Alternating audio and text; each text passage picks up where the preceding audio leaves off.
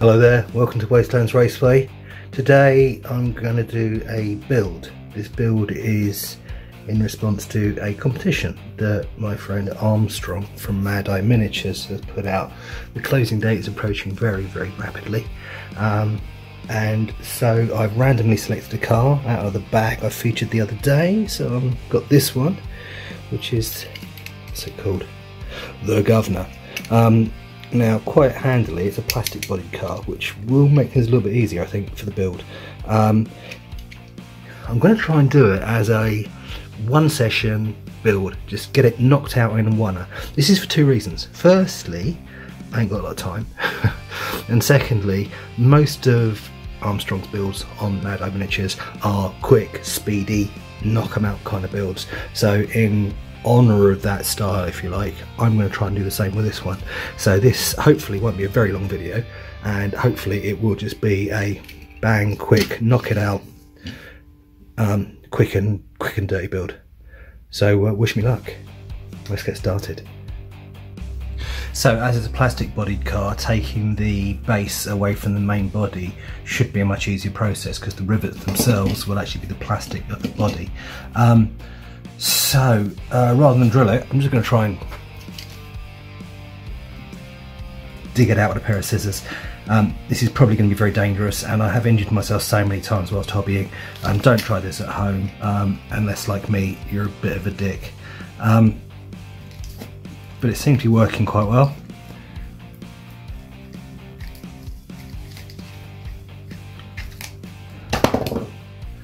So yeah, there you go, nice and easy. Who needs a drill? So, I've taken this out because I don't want the solid yellow windows in there. Um, I want to do something else with them. The colour of the body I quite like, it's a purple. I'm going to keep the purple base um, I don't know whether I'm going to take those tampos off or keep them in there at the moment. Um, I will probably keep them in there, I think, um, but just maybe scuff them up a little bit. Yeah, so it's a nice body. What we have got here is a bit of a bit of a flat shelf on the front there. So I think some kind of ram or spikes is going to go in there. Um, I might just drill straight into the body and have some machine guns protruding from the front there. Um, I've got a similar sort of shelf type arrangement at the back, which I might do something with. But yeah, it's a, it's a fairly basic muscle car type shape. I'm not going to do too much messing around with it. So here we go, stage one. I have just literally just sprayed a matte, um, clear matte coat onto the body. Uh, let's just give it a slightly better base for any painting that I'm going to do to um, to take. And I've black bombed the underside, everything just, just to make it black um, because I've got an idea for that, you'll see later. Um, but there you go, so far, stage one, that's done. Just wait for things to dry. I've masked this off, um, central stripe. Um, we just use normal painter's masking tape and all I'm doing at the moment is dabbing an off-white base coat on there at the moment. I'm using a sponge. Um, this is a technique I've used before and it's worked quite well. Now you do get a very slight um, texture in the paint. Um, but I don't think that's a, a major issue. This is just a base coat just to try and get something lighter than the purple down because this stripe's to be yellow, probably yellow grading into sort of a lime green colour. So there you go, that's the first undercoat done. I'll let that dry. I may well again do another sponging just to get a slightly more complete base coat on there and then come in with the yellow and see what we can do with that. Okay, so using the same technique, but this time with a, a bright yellow, um, going over the stripe now. So hopefully the the lighter base coat will mean that when the yellow goes on, it's it's more vibrant. Um, it will probably take a couple of coats to get decent coverage.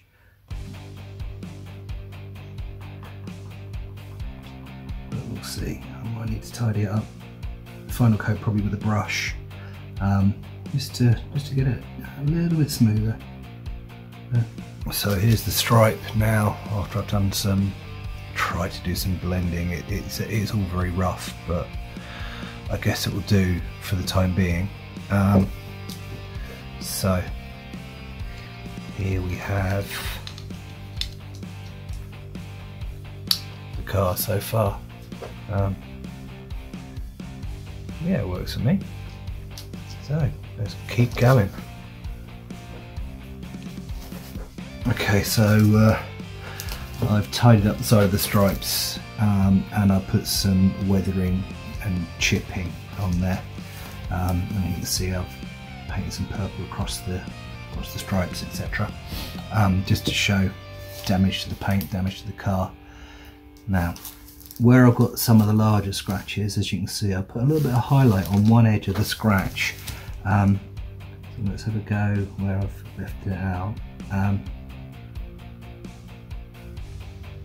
the idea is to try and make the scratch look a bit more 3D by showing a highlight where the light would catch one side of it. Um, I think got limited success.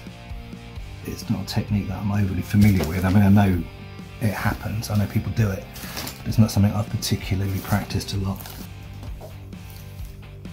I think it's all right. Right, so that's what I've done. I've just tried to get a bit of damage to it. Also, if you see, just paint a little bit of chipping on the on the decals on the side there. Um, I'm just trying to show a sort of pattern of wear and tear on the uh, on the paintwork.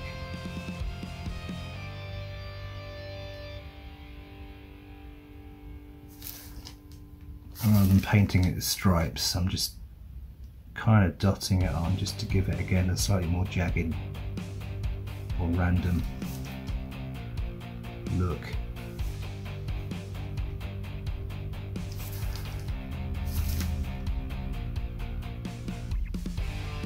Try not to do too much, just enough to look like a bit of damage, a bit of wear and tear. So that's where we are so far. I've just uh, turned my attention to the base, which I had painted black. I've just dry brushed a bit around the edges just to give it a bit of a metallic sheen without being too shiny, including this front piece here, because that is going to show through the hole in the front there. Um, and also the exhaust pipe bits on the back or whatever they are. Um, these two pegs show in there, so I painted them red so they'll show through that. Um, in addition, just put some silver around the edge of whatever these pipe things are, um, and I've painted a white stripe in that um, recess underneath the um, the boot or trunk. Um, I've got an idea for that. Yeah, so what I'm going to do with that is going to run some of the Army Painter speed paint in that recess just to see how it works. Um, obviously we established you don't really want to be painting whole panels with um, with the speed paint um, for reasons that showed up on my review video. So I'm just going to wash it, flood it into that recess and see what it does.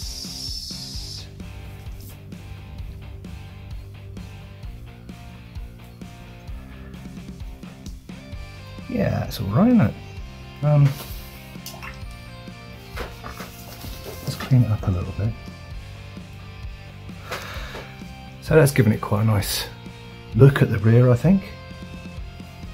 I'm also going to try and use the speed paint as a bit of a pin wash. Just see how that works in the recesses, if I can keep it into the recesses alone.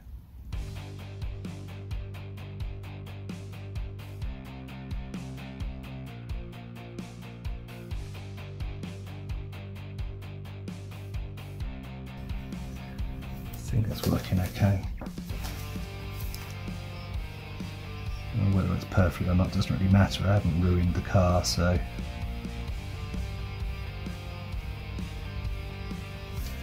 yeah.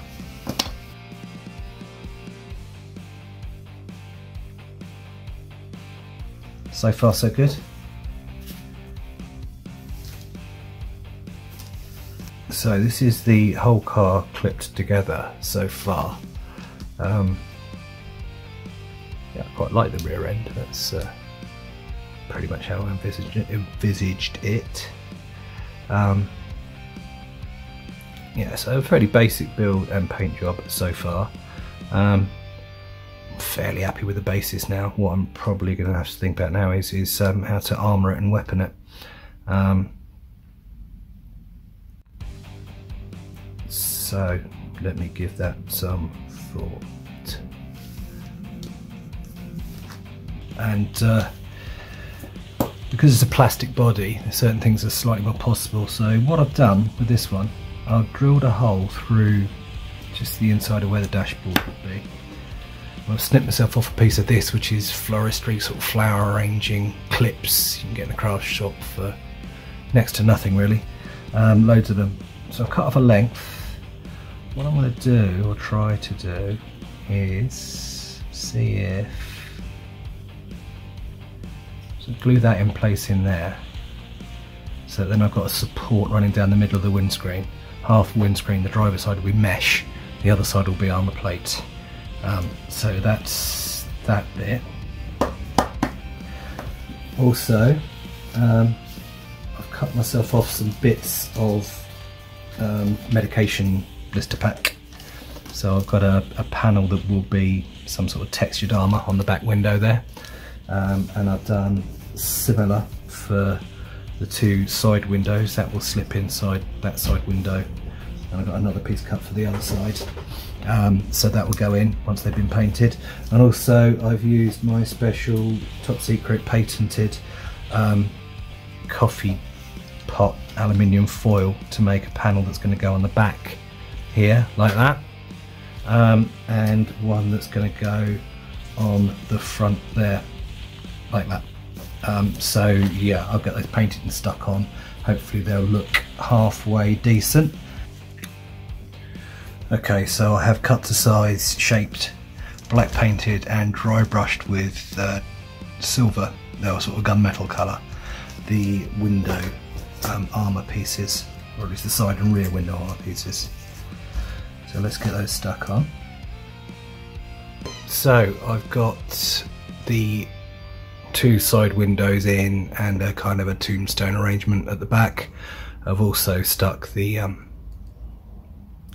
riveted on the plates front and back used from made from aluminium foil. Now I've sized this back bit slightly wrongly so I'm going to get a knife and, and, trim that down so you can see the, the red light at the back. Um, but yeah that's good. I've drilled two holes in the front. They're going to take machine guns. Um, and I'm going to work out what I can do ram wise on the front here so yeah taking shape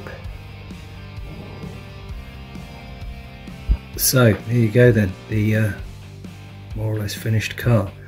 Um, windows are corrugated cardboard, um, a piece of florist wire in the middle, and then tulle, twill um, mesh as the windscreen mesh.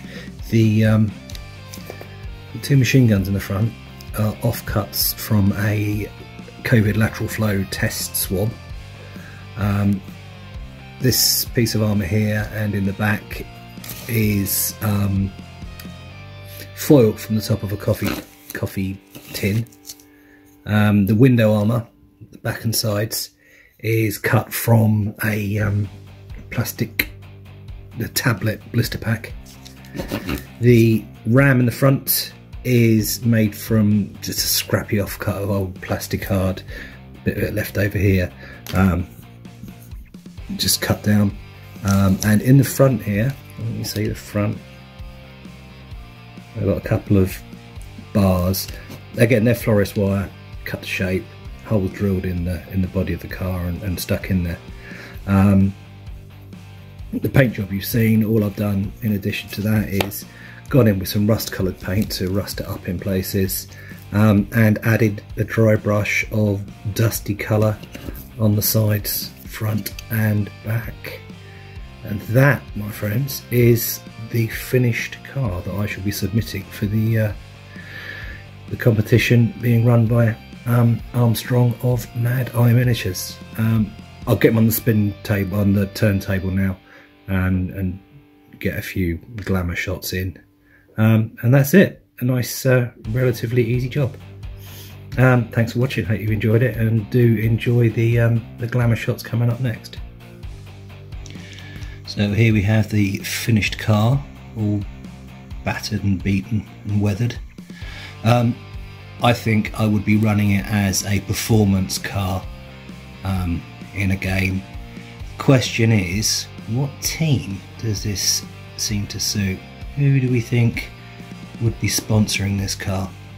Um, you got any ideas, then drop them in the comments below and let us know what you think. Um, anyway, I hope you've enjoyed this build. I certainly did. And uh, thanks for watching. We'll see you again soon. Bye for now.